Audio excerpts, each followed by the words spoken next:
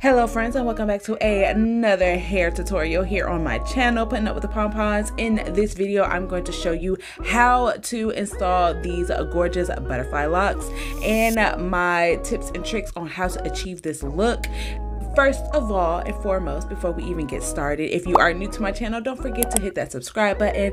Come and join the family. We would love to have you if you are a returning subscriber. Hey, bestie, how you doing? Hope you are being blessed and safe as always. We're going to go ahead and jump straight into the video.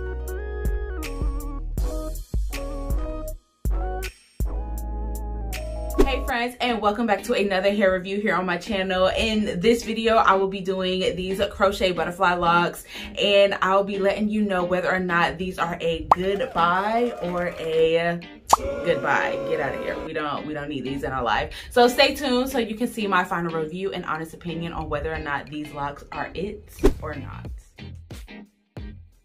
Jumping straight into it, wasting no time whatsoever, I am going in with my hair being freshly washed and I let it dry overnight. I think I wore like a headband wig the next day because I got lazy. So anyways, our hair is dry, so I have to apply some water to help with, uh, you know, detangling and, you know, manageability. It makes it a little bit easier to work with when I'm trying to create my part. So I'm going straight back with these Mielle Twisty Souffle. This is the leave-in conditioner, moisturizer that I choose to use, uh, mainly because it's just been sitting on the shelf collecting dust and I decided to give it another debut on my videos. So as you can see, I'm doing a straight back cornrow and you may have noticed that I have like this, you know, little beady bead back there that I forgot. I am very sensitive at the nape of my neck where that hair grows. Like it's just very, very sensitive.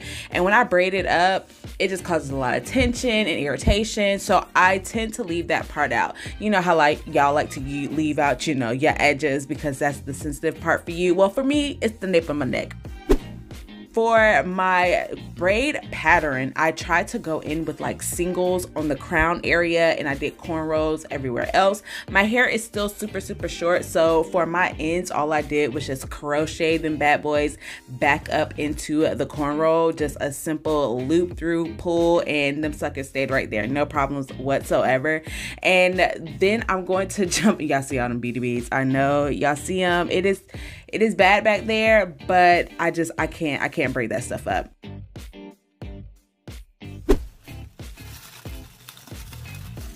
All right, so this is pretty much me just opening up the hairs so you can see what all came in there. Of course, it came with a crochet needle as always. It came with, I think, five to six packs of hair. Um, all that will be disclosed at the end of the video. So let's talk about my struggles with installing this hair, first of all. So usually when I do my crochet faux locs, I take, like, you see how I have my individuals around my crown? So the plan was to uh, take those individuals and shimmy them through the center of the loc because that's how I've previously installed my locs. This was my first time really dealing with butterfly locs. So I was a little new to this. So once I realized I could not shimmy my freaking hair through the center, I had to go back and braid all those individuals down to make it look like a cornrow because I didn't want to have to redo the entire braiding pattern. So I'm just installing these locs like a regular crochet locs, like the regular Degler way, nothing special or anything, which wasn't bad. It was not completely bad, but it wasn't what my heart was set on. I was set on having the individuals in the crown area and everything else was going to be crocheted in so I could still have like that individual look, but we saved like a good two hours on doing our hair because I just crocheted the rest of my hair in. So after I do all this, I finish the look. This is what it looks like afterwards. Again, it doesn't look completely bad. It just it, it just wasn't what I was envisioning. When I envision my protective style, a look that I plan on slaying for the next couple of weeks, it has to come out perfectly the way that I envisioned it. If not, I'm frustrated, I'm infuriated. I, I, I couldn't do it. So what I end up doing is going back and taking out the crown area because this was all of the hair that they sent me. This is all the hair in my head. So I ended up having to like carefully remove the locs so I didn't mess them up too much because I was gonna have to reuse them. And I decided to uh, install them a little bit differently.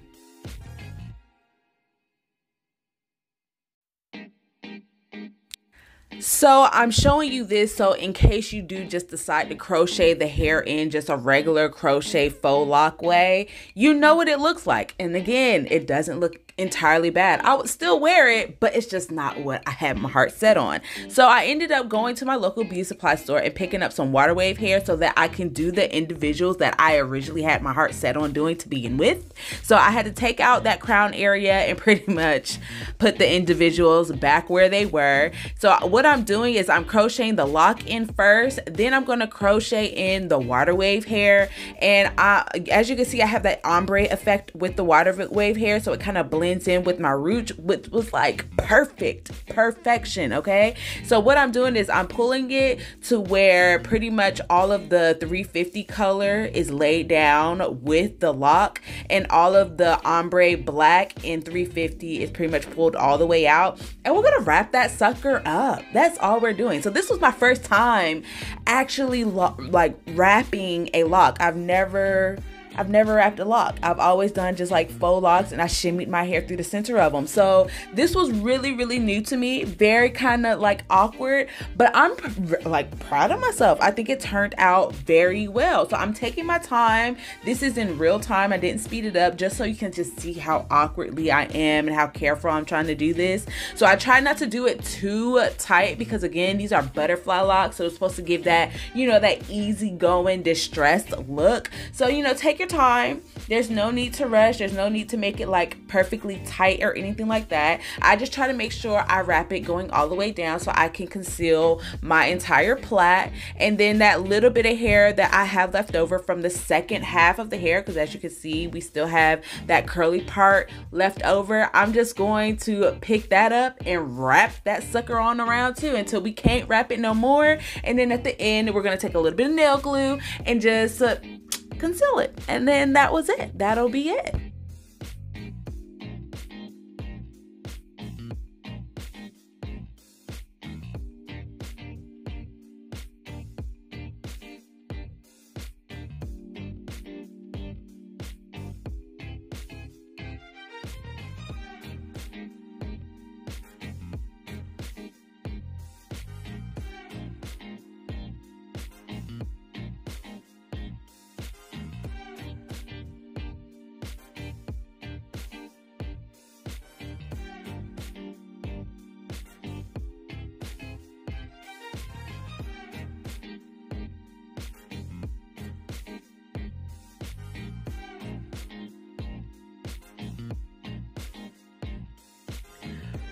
all right y'all. So uh, this is the completed look. Now i took two little pieces and tied it in the back just to keep like the hair from falling in my face as i'm sitting here recording.